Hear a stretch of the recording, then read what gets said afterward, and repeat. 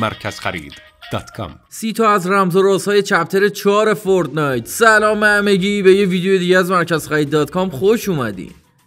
توی این ویدیو قصد داریم سی تا از رمز و رازهای chapter 4 Fortnite رو بهتون معرفی کنیم. پس حتما تا آخر این ویدیو همراه ما باشین. بعد از اینکه چند بار روی جزیره فرود بیاین با rift ا رو در رو میشین. قبلا رویدادهای تصادفی مثل غارتگرا یا بیگانه ها رو توی بازی دیده بودیم. اما الان وضعیت عجیب تر شده و ممکنه بقیه در مقابلتون از ریفت استفاده کنن که البته می‌تونن دوست و همتیمی باشن یا دشمن خونین یکی از بهترین رویارویی ها در حال حاضر لامه های سگانه هستن. خیلی وقتا پیش میاد که همینطوری دارین راه میرین و یهو سه تا لاما جلوتون سبز میشن. همچین چیزی رو قبلا توی بازی نداشتیم. پس امیدواریم پیداشون کنین. یه قابلیت جدید دیگه هم به بازی اضافه شده که کمتر کسی ازش خبر داره. وقتی توی زمین یخی هستین کافیه تبرتون رو بردارین و به زمین ضربه بزنین. به مرور زمان برف زیادی روی هم جمع میشه و یه گوله برفی بزرگ درست می‌کنه. به همین راحتی. بعدش هم می‌تونین به پایین دره هلش بدین یا حتی بپرین داخلش. توی چپتر سوم می‌تونستین این کار رو با سنگ بکنین. اما فقط توی محدوده های خاص. سالها بود که نوشیدنی های اسلرپ توی جزیره حکرانی می‌کردن و به عنوان بهترین نوشیدنی شناخته می‌شدن.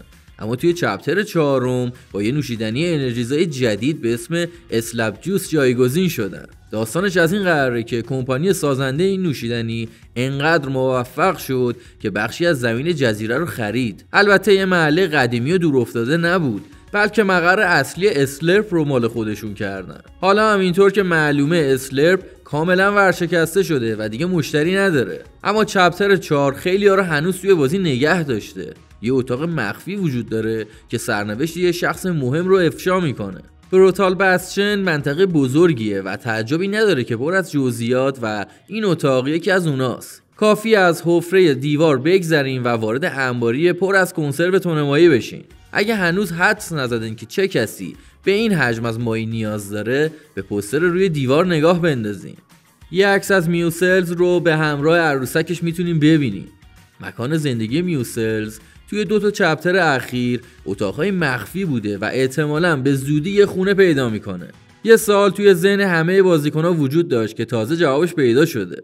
داخل رویداد زنده دیدیم که Zero Point یه جزیره جدید رو قطعه به قطعه درست کرد. اما اگه دقیق تر بهش نگاه کنین می‌تونین موقعیت دقیق Zero Point رو پیدا کنیم برای همین ما جزیره اصلی رو با اون صحنه تطبیق دادیم و به این مکان دور افتاده رسیدیم. اسمش Hidden Hedge ه همون محراب های chapter سه داخلش دیده میشه. روی زمین یه در دایره‌ای وجود داره و تقریبا مطمئنیم که محل مخفی زندگی Zero Point ه. اگه می‌خواین غرق نوستالژی بشین صدای بازی رو بلند کنید و توی جزیره گشت و گذار کنید. چون بعضی مکانها هستن که وقتی از کنارشون بگذرین آهنگ چپتر اول پخش میشه. با این حجم از تغییرات فورتنایت مثل یه بازی جدید میمونه و شنیدن یه صدای آشنا می‌تونه حس خوبی بهتون بده. علاوه بر اون اپیک مکان کلاسیک هم توی عجیب ترین جای ممکن قرار داده. توی زمین یخی می‌تونین وارد قارها و تونل های زیادی بشین که در آخر شما رو به برج ساعتی معروف هدایت می‌کنن که به تنهایی جا خوش کرده. ممکنه برف دورش دوباره آب بشه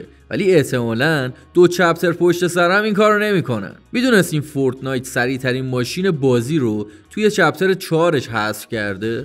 با گشت و گذار داخل جزیره می‌تونین سدان ها و تاکسی ها و کامیون های مختلفی رو پیدا کنید. اما از یه ماشین خاص یعنی Whiplash هیچ خبری نیست. حالا که موتور خاکی داریم این ماشین تقریبا کارایی خودش رو از دست داده. پس حذفش کردن. جای تعجب نداره. با اینکه دیگه نمی‌تونین Whiplash رو پیدا کنید Epic چیزای زیادی رو برای کشف کردن به بازی اضافه کرده. یکی از اونا به لطف رویارویی با ریفت ها شانس کمی برای زار شدن داره. اما اگه خوش شانس باشین ممکنه دوستای قدیمی یعنی مریدهای تنها بهتون سر بزنن. بعد از اینکه در طول رویداد زنده ظاهر شدن همه کنجکاو بودن که دوباره سر کلشون پیدا میشه یا نه. و حالا معلوم شد. البته این تنها چیزی نیست که از رویداد فرکچر به بازی میاد. اونجا از فاصله دور می‌تونستین دره دریلی رو ببینین که حالا به جزیره و جای خودش برگشته. اما هرالد چندان خوششانس نبود. بعد از اینکه همه رو کشت و جزیره رو نابود کرد مأموریتش با موفقیت تموم شد. البته می‌تونستیم در طول رویداد یه سری از خرابی ها رو درست کنیم اما دیگه دیر شده بود. تا اون موقع کروم تسخیرش کرده بود و اون رو وارد Reality Tree کرده بود. می‌تونیم بقایای Herald رو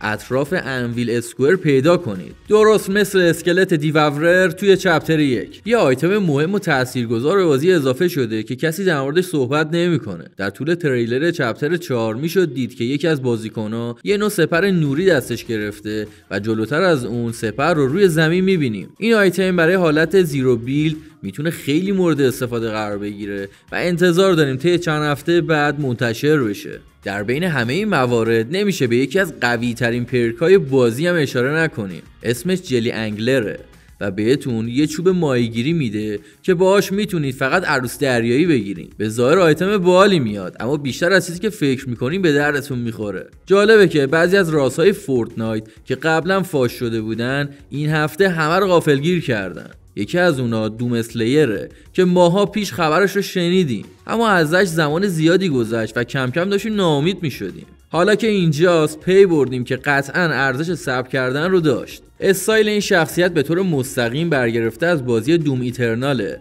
و جزئیات بالایی داره. اما بهترین قسمتش emote اشه که توی تریلر هم می‌تونیم ببینیم. حالا که صحبت از جزئیات شد یادبود غار ریف به بازی برگشته و نه تنها ظاهر فوق العاده ای داره بلکه صداش هم تغییر کرده. به لطف آپدیت chapter 4 همه صداها داخل این مکان اکو میشن. البته این تنها جزئیات کوچیک نیست چون مقدار عدد damage حالا به صورت جمع نشون داده میشه. قبلا وقتی به یکی شلیک می‌کردین آسیب وارد شده از هر گلوله رو می‌دیدین. اما حالا مقدار کل آسیب رو نشون میده که خیلی بهتره. همچنین نشانگرهای جدیدی برای تفنگ‌ها اضافه شده که تا قبل از آپدیت نمی‌دونستیم انقدر بهشون نیاز داریم. یکی از کشمکشایی که هیچ وقت تمامی نداره مقابله با Imagined Order ه. چون همین الانش هم دوباره برگشتن. خیلیا با حضور Ageless به این قضیه پی بردن. اما راسهای عجیبی وجود دارن که همه چیز رو افشا می‌کنن. وقتی توی اسپان آیلند هستین اگه یه نگاه به صفحه پرتاب کننده اتوبوس بندازین می‌تونین لوگوی آی او رو ببینید همچنین یه مأموریت جدید قراره به زودی بیاد که از بازگشت دکتر اسلون خبر میده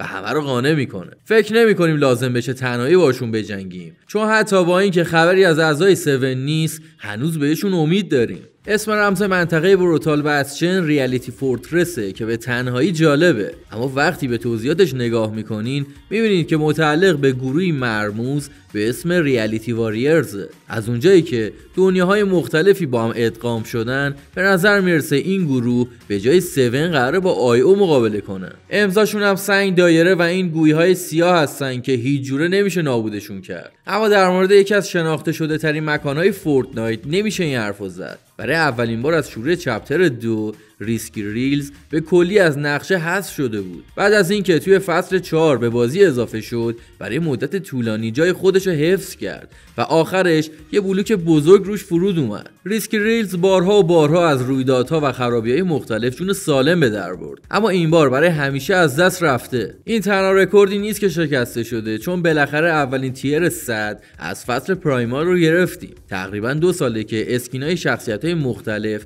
توی Battle Pass بیشتر از هر چیزی به چشم می‌خوره. اما الان یکی از مهمترین شخصیت داستانی جاشون رو گرفته. Epic یه سری عناصر واقع گرایانه رو به طراحی داخلی بعضی مکانها اضافه کرده. نه تنها همه طراحی حیرت انگیزن بلکه یه خونه خاص وجود داره که راز شرماوری رو توی خودش نگه داشته. توی این اتاق خواب که داخل Frenzy Fields قرار داره چندین پوستر Rocket League پیدا می‌کنید مشخصه که صاحب خونه یه gamer حرفه‌ایه. این تنها مکان پر رمز و راز نیست. توی Lonely Labs می‌تونی یه نقاشی جالب رو پیدا کنید تابلوی روی دیوار هستش که یه ماشین مسابقه جدید رو نشون میده. به نظر یه سدان معمولی با بدنه و بال پیشرفته تر میاد و شاید همین ماشین دلیل اصلی حذف شدن Whiplash از بازی باشه. یکی دیگه از چیزهایی که تغییر کردن item box ها هستن.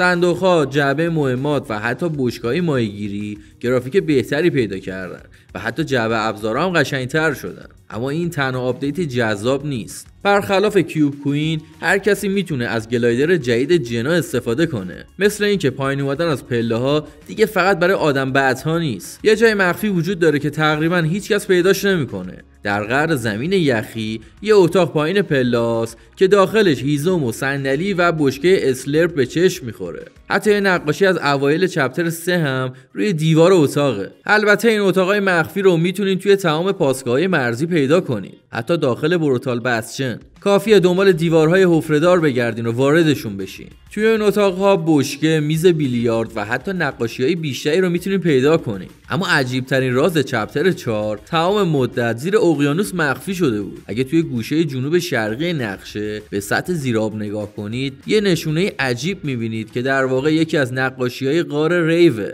اما هنوز نمی‌دونیم چرا اینجا گذاشتنش. یکی دیگه از چیزهایی که منتظر منتشر بشه ریکاندرونه. همونطور که از تریلر مشخص بود این آیتم به اون اجازه میده با اسکن کردن یه محدوده دشمنا رو پیدا کنیم. یه جورایی مثل پهپاد Valorant میمونه.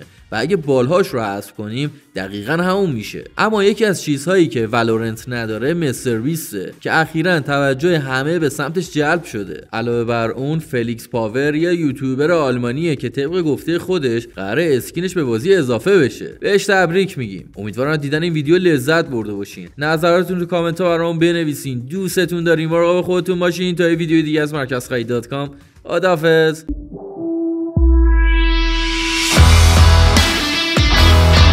فروشگاه اینترنتی مرکز خرید dot com.